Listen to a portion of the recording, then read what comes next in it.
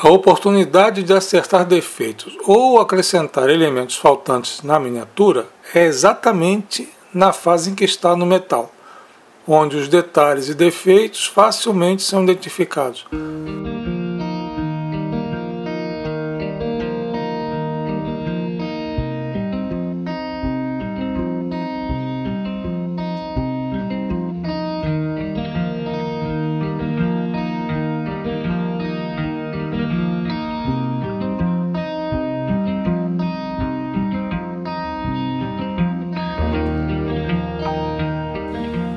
Quando se começa a pintura e se a pintura tem espessura fina, também se começa uma revisão da superfície da lataria, se tudo está alinhado, se existe alguma imperfeição. Quando a pintura é espessa, muitos defeitos somem, assim também como os detalhes mínimos e preciosidades da modelagem acabam sendo limados por essa pintura grossa, geralmente é que vem de fábrica.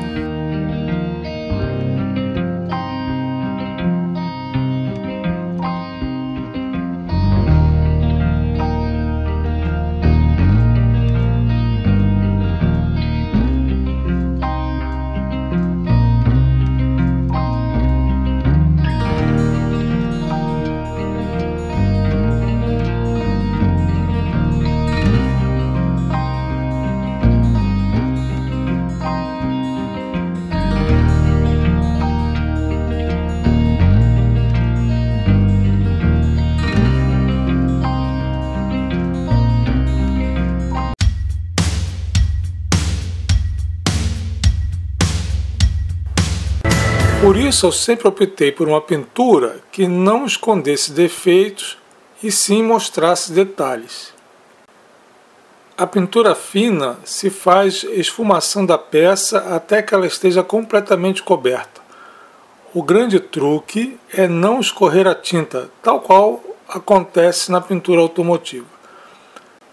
Uma vez pintado, os possíveis defeitos que estavam ainda escondidos aparecem se existirem. A base cinza deixa um pouco mascarado, mas quando se coloca uma tinta poliéster, que ao contrário da tinta PU, que tem a capacidade de corrigir mínimos defeitos, a tinta poliéster potencializa defeitos, revela imperfeições e certamente que eu já vi algumas aqui.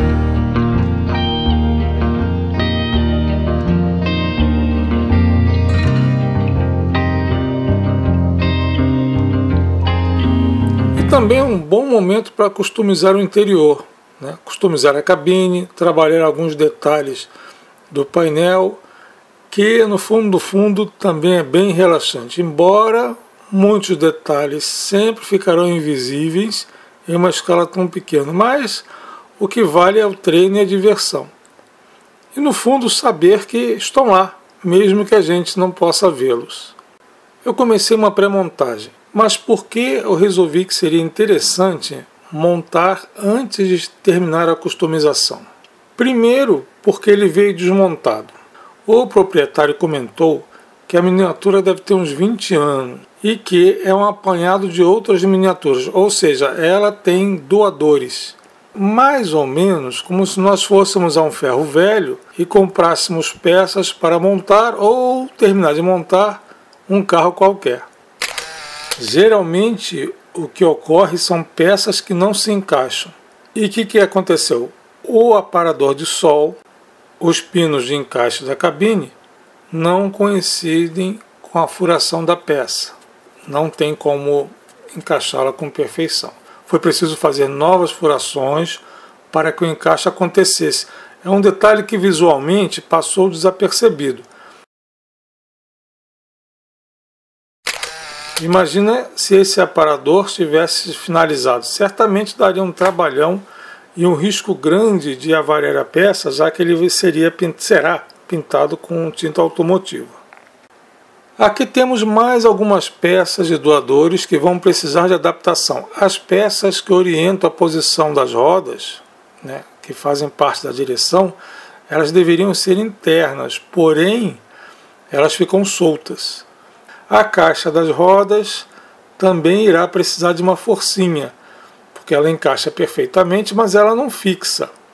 O capô é para ser articulado, porém a peça que faria isso parece ser um pouquinho mais larga e grossa e não deixa o capô se alinhar à cabine nem o motor se alinhar ao chassi. Então vou ter que pensar em alguma coisa à parte para fazer com que esse capô seja flexível. Agora que eu já conheço todos os problemas que virão na montagem, já podemos guardar tudo, uma vez que na pré-montagem tudo encontrou seu lugar na festa, até os penetras. Mas tem uma pecinha aqui, convidada para um casamento, que está em um batizado, mas ela não vai ser excluída. Guardamos tudo seguramente e voltamos ao processo. A pintura.